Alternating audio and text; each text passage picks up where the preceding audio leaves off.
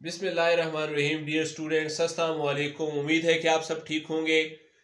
सबसे पहले मैं अल्लाह ताला की ज़ात का शुक्रिया अदा करता हूँ कि मेरे इल्म में अल्लाह ताला ने वसत पैदा की और मुझे इस काबिल समझा कि मैं आप लोगों तक अपना इल्म पहुँचाऊँ।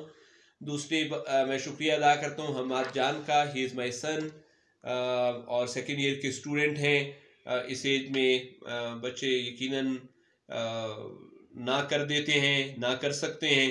लेकिन मैंने आज दूसरा महीना है, इनको कहता हूँ लेक्चर का, और रोज़ाना रात को दो से तीन लेक्चर ज़रूर होते हैं। तो मैं इनका शुक्रिया अदा करता हूँ तमाम स्टूडेंट्स की तरफ़ से, अल्लाह ताला इनको इसका पूरा पूरा अजर अता फरमाए। सेकेंड ईयर का मजमून शहरत आम और बाकायद अवाम पेज नंबर थर्टी नाइन उनतालीस नंबर सफ़े पर हैं। हम यहाँ से पढ़ रहे हैं कि थोड़ी देर गुजरी थी, महमूद गजनवी का ज़िक्र है। महमूद गजनवी जो है वो इनका गजनी से ताल्लुक़ है और अफ़गानिस्तान में रहते हैं। थोड़ी देर गुजरी थी कि एक और ताजदार ताज पहने हुए बादशाह सामने नमूदार हुआ, सामने आया। वलायती उस्तखान है और वलायती उस्तखान है, इसका जिस्म जो है वो शाही अंदाज है, वलायती है, शाही है। और शाही जिसम है, और वलायती लिबास, और शाही लिबास उसके जिसम पर है, और जामा, और उसका लिबास जो है, खून से कलमकार है। खून से कलमकार है क्योंकि हिंदुस्तान पर उसने खुद सत्रह हमले किए थे, और इस वजह से लिबास उसका खून से भरा हुआ है। देखें, लफ्ज़ कुछ होता है, मानी उसके कुछ होते हैं, सियाको सबाक के साथ मानी को नोट करना चाहिए। हिंदुस्तान के बहुत से गिरा बहा जेवर इसके पास थे, जब भी वो हमला करता है तो हिंदुस्तान तो ज़ाहिर है कीमती जेवरात से भरा हुआ था और वो लूट कर ले जाता था, मगर चूँकि नावाकिफ था इस्तेमाल नहीं जानता था। अफ़गानिस्तान था, गरीब मुल्क से ताल्लुक़ था, इस वजह से जेवरात के इस्तेमाल से नावाकिफ था, इस्तेमाल नहीं जानता था और गरीब मुल्क का हुक्मरान था। इसलिए कुछ जेवर हाथ में लिए थे। जब आपको ये बड़ा अच्छा होता है ना उस आदमी के पास उस चीज़ का होना जिसका वो उसे इस्तेमाल ना आता हो। तो वो देखे क्या करेगा? कुछ जेवर हाथ में लिए थे, वैसे ही उठाए हुए हैं। कुछ कांधे पर पड़े हुए थे, कुछ उसने कांधे पर वैसे ही डाले हुए हैं। जेवरात की अहमियत तो सिर्फ़ हिंदुस्तानी शाहों को या बादशाहों को ही मालूम थी। यहाँ पर यह है। वो महमूद गजनवी था, नाम था उसका। बहुत से मुसन्फ यानी काफ़ी किताबें इसके बारे में लिखी जा चुकी हैं। इसके इस्तकबाल को बढ़े, मगर वो किसी और का मुंतज़र था स्टार लगा हुआ है, मालूम नहीं कहाँ पर है। जी, वो किसी और का मुंतज़र था। अब, यहाँ, अयास का इंतज़ार कर रहा था और इसे देखने का शौक़ रखता था। शायद ये, मैंने इस वजह से स्टार लगाया था कि मैं पूरा वाक़ बताना चाह रहा था। लेकिन हाँ ये है, सॉरी, ये मौजूद है, सॉरी। महमूद का एक समझदार खादिम अयास था। हर हमले से पहले उससे मशवरा करता था। इसलिए सल्तनत के उमरा उससे जलते भी थे, अयास से। अब खादिम से मशवरा कर रहे महमूद। खूबसूरत भी था। अक्सर लोग इल्ज़ाम लगाते थे कि महमूद अयास पर आशिक भी है। ये इल्ज़ाम भी था। लेकिन जो भी था तो इस वजह से ये मैंने क्यों आशिक का कहा कि उसका इंतज़ार कर रहा था और उसका मुश्ताक था, उसका देखने का शौक़ रखता था। चुनाचे एक नौजवान हूर शुमाइल। जन्नत की हूरों की तरह प्यारा। लड़का था लेकिन जन्नत की हूरों की तरह प्या, प्यारा था। और फिर दोषी का हाथ पकड़कर फिर दोषी ने शाहनामा में शाहनामा लिखने वाला इसने महमूद का किस्सा लिखा है। और महमूद ही ने इससे इनाम का वादा भी किया था आपको कल का लेक्चर याद हो मगर वो पूरा नहीं किया था। तो फिर दोषी का हाथ पकड़कर महमूद के सामने ले गया। महमूद ने नहायत इश्तियाक से और शुक्रगुजारी से, शौक से और शुक्रगुजारी से इसका हाथ पकड़ा फिर दोषी का हाथ पकड़ा। कि किस वजह से? शुक्रिया अदा किया कि आपने मेरे हुक्म पर, मेरी दरख्वास्त पर शाहनामा लिखा है, उसका शुक्रिया। अगरचे बराबर बैठ के, दोनों साथ साथ बैठ के, मगर दोनों की आँखें शर्म से झुक गई। दोनों शर्मिंदा थे। शर्मिंदा किस वजह से थे? ये भी बात है। दोनों शर्मिंदा थे। महमूद इसलिए कि इनाम का वादा करके इनाम नहीं दिया। फिर दोषी इसलिए कि इनाम न मिलने पर उसने हजव लिखी थी, बुराई में एक नज्म लिखी थी। डियर स्टूडेंट्स याद रखिएगा कि कोई ना कोई वजह होती है, दोनों की आँखें शर्म से झुक गई। दोनों, फिर दोषी, दोनों में महमूद शामिल है। महमूद इनाम न देने की वजह से शर्मिंदा, जबकि फिरदोसी किस वजह से, इस वजह से कि उसने फिर महमूद गजनवी की बुराई में एक नज्म लिखी है, हज। तो दोनों शर्मा गए नौजवान एक अजीब नाजो अंदाज से मुस्कुराया। ज़ाहिर है उसमें नाजो अंदाज अंदाज तो था, अदाएँ तो थी, खूबसूरत था, मुस्कुराया और चला गया। वो अयास था। ये स्टूडेंट क्लियर हो गया। इस अरसे में एक और शख्स आया कि अब कौन है? बू अली सीना है। इसके लिबास अहले इस्लाम का रखता था। मुसलमानों की तरह का इसका लिबास था? मुसलमान था, मगर चाल ढाल यूनानियों से मिलता, जुलता था। अंदाज और तौर तरीके तो यूनानियों के थे। इसके दाखिल होने पर शुरा तो अलग हो गए। वो तो बिल्कुल अलग हो गए। शायरों ने कभी इसका ज़िक्र नहीं किया। तिब के साथ, साइंस के साथ, हिकमत के साथ शायरों की नहीं लिखती है, ये बता दिया। अलबत् उलमा में तकरार और कीलो काल का शोर हो गया। शोर क्या था? मतलब उलमा और फजला इसे नहीं जानते थे। वो कहते थे, हम जानते ही नहीं है इस आदमी को कि ये कौन है? इस सीनाजोर ने, लेकिन ये बड़ा सीनाजोर था, बड़ा ताकतवर आदमी था, इसने सबको पीछे छोड़ा और अरस्तु के मुकाबिल उसके बराबर ये बता रहा था कि मेरा इल्म अरस्तु के बराबर है, एक कुर्सी बिछी थी, इस पर आकर बैठ गया, वो बू अली सीना था। कम उम्र में बहुत ज़्यादा इल्म हासिल किया था इन्होंने, इस वजह से जो है, उनको शोहरत बहुत ज़्यादा थी। एक कम्बोह कसीर आया भाई ये शुरा है ईरानी फारसी ज़ुबान के शुरा हैं। अम्बो और बहुत ज़्यादा थे तादाद में ईरानी, तुरानी, वस्ती एशिया, ईरान के और वस्ती एशिया के लोगों का देखा कि सब माकूल लोग हैं, मुनासिब नज़र आते हैं, ठीक और दुरुस्त लोग हैं, खुश वज़ा भी हैं, अंदाज भी बड़े अच्छे थे, मगर अंदाज हर एक का जुदा जुदा था, शायरी तो मुख्तलिफ़ होती है, कोई तसवुफ करेगा, कोई इश्क हकीकी, कोई इश्क मजाजी, कोई सूफियाना शायरी और कोई इश्क मोहब्बत की शायरी, बास के हाथों में अज्जा थे शायरी के कागज़ और बास के बगल में किताब भी थी, थे कि और इनके नक्शो निगार थे, खूबसूरत मौजूद तहरीर शुदा थे, गुलजार थे और सजे सजाए थे। वो दावा करते थे, उनका ये दावा था कि हम मानी व मजामी के मुसविर हैं कि हम तस्वीरें बनाते हैं। मगर बड़े बड़े ख्यालात और तस्वुरात की तस्वीरें बनाते हैं। इनके बाप में बड़ी तकरारें हुई, इनके बारे में बड़ी बहस हुई, बहस और तकरार हुई इनके बारे में कि अंदर लाया जाए या नहीं लाया जाए, आखिर ये जवाब मिला कि तुम मुसविर बेशक अच्छे हो, बड़ी अच्छी अच्छी तस्वीरें बनाते हो, मगर बेअसल और गैर हकीकी अशिया के मुसविर हो। तुम बेअसल, बेबुनियाद, गलत चीज़ों की तस्वीरें बनाते हो। और गैर हकीकी हैं, जिनका हकीकत के साथ कोई ताल्लुक नहीं है।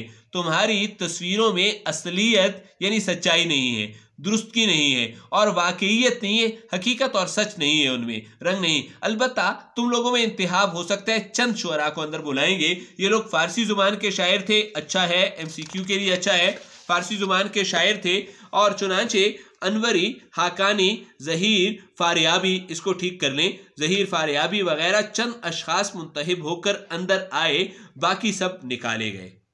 डियर स्टूडेंट अब चंगेज़ खान की बारी है। इस अरसे में चंगेज़ खान आया। चंगेज़ खान कौन है? चंगेज़ खान दरिया के किनारे खेमे पे पैदा हुआ। ये बात इसके लिए इल्ज़ाम हो गई खेमे में पैदा होना। फिर क्या इल्ज़ाम हो गया? बाप को एक जंग में बदतरीन शिकस्त हुई। ये एक और इल्ज़ाम हो गया और वो मारा गया, यानी बाप, चंगेज़ कम उम्री में ही कबीले का सरदार बन गया और फिर इसने जुल्म और बरबरीत की तारीख रकम कर दी। ये चंगेज़ खान था। इसके लिए गो अगरचे उल्मा और शुरा में से कोई आगे ना बढ़ा। न इसको उल्मा पढ़े लिखे लोग और न ही इसको शुरा पसंद करते थे। कोई नहीं आगे बढ़ा। जब अंदर लाए तो ख़ानदानी बादशाहों ने, ख़ानदानी बादशाह, जिनके बाप दादा भी बादशाह थे, अब इसका बाप दादा तो बादशाह नहीं थे, उन्होंने चश्मे हकारत से देखा, बड़ी नफरत की निगाहों से देखा और तबस्सुम भी किया, तंजिया अंदाज में मुस्कुराए। वजह क्या है? वजह यह है, वजह यह है, यहाँ पर आइए कि हम तो कि हम तो बादशाह, बादशाहों की औलाद हैं, तंजिया मुस्कुराना। और तुम दरिया के किनारे एक आम है, कबीले में, कबीले के सरदार के घर पैदा हुए हो, जिसे शिकस्त हो गई थी। और फिर लड़ झगड़ कर तुमने बड़ी सल्तनत पर कब्जा कर लिया कर लिया। मतलब ये कि तुम्हारे आबा अजदाद बादशाह नहीं थे। इस वजह से मुस्कुराए थे। ये वजह थी। अलबत् मौरखों के ग्रोह ने बड़ी धूमधाम की तारीख में इसका बड़ा ज़िक्र है। जुमले का मतलब ये होता है। तारीख की किताबों में बड़ा ज़िक्र है, जब किसी की ज़ुबान से नसब नामे का लफ्ज़ सुना, किसी की ज़ुबान से सवाल पूछा, किसी ने सवाल पूछा नसब नामे का कि भाई अपने खानदान और वालदेन के बारे में बताओ, वो कौन है? तो इसने फ़ौरन शमशीर निकाली, तलवार निकाली, जोहरदार, जोहर वाली, हुनर वाली तलवार निकाली और सनत के तौर पर, सबूत के तौर पर पेश की, जिस पर खूनी हरफों से लिखा था जिससे अभी भी खून टपक रहा था। खून से भरी हुई तलवार से। क्या लिखा था, क्या रकम था लिखा था? सल्तनत पे मीरास नहीं चलती। बादशाहत वर्षे में मिलने वाली चीज़ नहीं है। जो बहादुर है, वो बादशाह है। उलमा ने गुल मचाया। ए, उलमा ने नंबरिंग करके मैंने आसान कर दिया।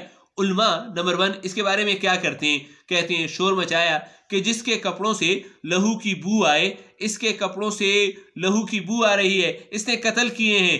इसको क्या कहा जा सकता है? ये कसाई कहते हैं, कसाई तो जबा करते हैं। बादशाहों में इसका काम नहीं। इसको क्यों बादशाहों में बैठाते हो? बादशाह कसाई नहीं होते। बी शुरा ने कहा कि जिसकी तस्वीर के रंग में हमारे कलम ने, यानी जिसके बारे में हमने शायरी नहीं की, या मुसवरान तसानीफ किताबें लिखने वालों की तहरीर ने रंग बका नहीं डाला, जिस हमेशा की ज़िंदगी नहीं अता की, यानी हमने जिसके बारे में मजामी नहीं लिखे, या शायरों ने मजामी नज़में नहीं लिखी, इसे दरबार में ना आने देंगे। इस बात पर इसने भी तामुल किया। उसने भी ज़रा सोचा कि वाकई ये कहते तो ठीक हैं और मुतासिफ मालूम होता था, अफसोस भी कर रहा था। इस वक्त खातिफ ने आवाज़ दी, गैब से आवाज़ आई कि, ए चंगेज़ चंगेज़, जिस तरह जिस तरह तुमने मुल्क, जायदाद, हुकूमत, रियासत और शमशीर, यानी जंग और लड़ाई के जोश को कौम के खून में हरकत दी, अपनी आवाम में इन दो चीज़ों का तुमने शौक पैदा किया इन दो चीज़ों का जोश पैदा किया। अगर इसी तरह अलूम फ़नून का भी ख्याल करते, मामून रशीद, हारून रशीद की तरह, तुम अपने दरबार में, अपनी रियासत में, इल्म फ़न मदरसे इस को लेकर आते, ख्याल करते तो आज कौमी हमदर्दी तुम्हारे साथ तुम्हारी कौम हमदर्दी करती। उसकी बदौलत ऐसी नाकामी ना उठाते। तुमने मुल्क और शमशीर को तो बड़ा जोश दिया इन्हीं की वजह से तुम आज नाकाम हो। कत्तो गारत करी की वजह से नाकाम हो। इतने में चंद मुहरख आगे पड़े तारीख में कुछ अच्छे और आग पीस के थे। उन्होंने कुछ वर्क दिखाए, कारनामे दिखाए इसके। इनमें एक क्या था? तोरे चंगेज खानी था। तोरे चंगेज खानी क्या है? हुकूमत करने के कायदे और असूल जो कवानीन, जो चंगेज ने बनाए हैं। भाई अच्छा कारनामा है एक। यानी इसके मुल्की इंतज़ाम के कवायद लिखे थे। मुल्क का इंतज़ाम चलाने के असूल लिखे थे। आखिर करार पाया कि दरबार में जगह तो दो, बिठा दो इसको, मगर इन कागज़ों पर जो कारनामे इसने किए हुए ये जो चीज़ें लिखी हुई हैं, इस पर कुछ लहू के छींटे भी गिराओ, खून उसके ऊपर हो लगा हो, ताकि पता चले कि कारनामा तो अच्छा है, लेकिन कातिल के हाथ का है, और एक स्याही का दाग भी लगा दो। साथ लिखो कि बदनाम आदमी था, बदनाम आदमी का है। यहाँ पर चंगेज ही की एक और बंदे का ज़िक्र है उस वो है हलाकू खान। थोड़ी देर न गुजरी थी कि एक जवान इसी शको शान का, चंगेज ही की तरह शान शौकत रखने वाला। इसी, इसका नाम आया हलाकू था। इसके लिए चंद उल्मा आगे बढ़े। मुर्ख और उल्मा इसे अच्छा समझते थे। उसकी वजह ये थी, वो वजह मैंने यहाँ बयान करना छोड़ दी कि ज़मीन पर फ़िरक़ बातिया ने एक जन्नत बनाई थी और उस जन्नत में उन लोगों को लाया जाता था जो उल्मा का कत्ल करते थे। तो हलाकू खान ने उस जन्नत को भी ख़त्म किया और उस फ़िरके को भी ख़त्म किया। इस वजह से उल्मा और मौरख इसको बड़ा पसंद करते थे। जिस वक्त अंदर लाए तो इसने इसके लिए इसके लिए भी तकरारों का गुल हुआ चाहता था। बहस हो गई, ज़ाहिर लड़ाई झगड़े तो किए थे, मगर एक मर्द बुज़ुर्ग, अच्छे कारनामे। ये देखें, कुछ एलाइड नॉलेज भी है। पेज नंबर सिक्स जो किताब का है, उस पर इसी मर्द बुज़ुर्ग का हलाकू खान के साथ पहले ज़िक्र हो चुका है। हम पेज नंबर सिक्स पर बढ़ते हैं। ये देखें पेज नंबर सिक्स पर पेज नंबर फोर्टी का निशान लगा दिया। ये देखिए ज़रा, हलाकू खान, इन्हीं का ज़िक्र था। न ने सिर्फ़ बगदाद को गारत किया, ये भी बात बयान हो चुकी, लड़ाई झगड़ा बेचराग कर दिया, ताहम औकाफ में कुछ तसरफ न कर सका। इसने बगदाद वगैरह के तमाम अवकाफ मुहक्क तोसी के हाथ में, अभी हम इन्हीं का ज़िक्र कर रहे हैं, के हाथ में दिए। जिसने इसका बहुत बड़ा हिस्सा रसद खाने, यानी सितारों का हाल जानने का इल्म जानने, तामीर में सर्फ किया, ममालिक क्लियर हो गया डियर स्टूडेंट ये हलाकू खान और ये मुहक्क तोसी खान का ज़िक्र पहले भी पेज नंबर सिक्स पर हो चुका, यहाँ भी पेज नंबर फोर्टी लिख दिया कि इसके पढ़ने में हम पेज नंबर फोर्टी जिसका हम आज पढ़ रहे हैं, इस्तेमाल करें। अब देखें, मर्द बुज़ुर्ग तोसी खान ने इसका हाथ पकड़कर आगे बढ़ाया, क्योंकि वो जानता था कि हलाकू खान के कारनामे भी हैं। तोसी खान जिसकी वजह उसका अंदाज मुतशर आलमों का था, मजहबी उलमा की तरह था, लेकिन कमर में एक तरफ़ इस्तरलाब था। इस्तरलाब सितारों का मुकाम और फास्ता मालूम करने का आला है, साइंसी इंस्ट्रूमेंट है। और दूसरी तरफ़ कुछ अकलीदस की शक्लें थीं। अकलीदस ज्योमेट्री का एक आलिम है, अकलीदस, उसकी शक्लें, यानी ज्योमेट्री की बनाई हुई शक्लें भी थीं। बगल में फ़लसफ़ा और हमत के चंद अज्जा भी थे, कागज़ भी थे। इसका नाम मुहक्क तोसी था। तो आ, आ, तोस असल में ईरान का एक शहर है। तोसी उस वजह से कहते हैं। पूरा नाम था निज़ामुल मुल्क तोसी। क्लियर हो गया डियर स्टूडेंट चुनाचे इन्हें देखकर कोई बोल न सका। इसे तो बादशाहों की सफ में जगह मिल गई।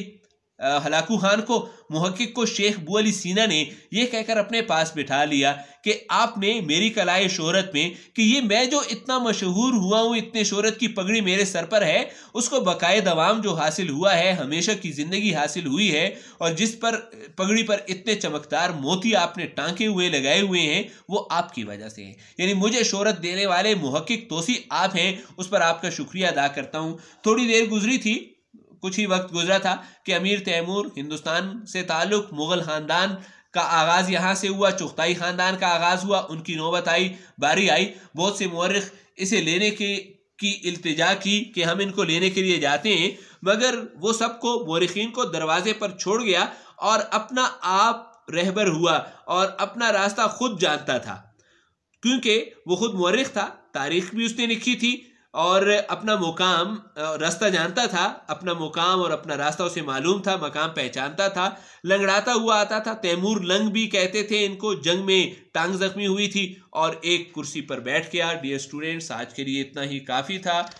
उम्मीद की जाती है कि एक दो लेक्चर्स में इंशाल्लाह ये वाइंड अप हो जाएगा। कोशिश तो की है कि ज़्यादातर आपको आज पढ़ा दिया जाए तेज़ी नहीं कर सकता क्योंकि मालूम काफ़ी होती हैं और अच्छी मालूम होती हैं। इस आ, सबक से मिलती जुलती और आपके लेवल की मालूम आपको पूरी की पूरी हासिल हो रही है। आज के लिए इतना ही। शुक्रिया। वसलाम खुदा हाफिज़।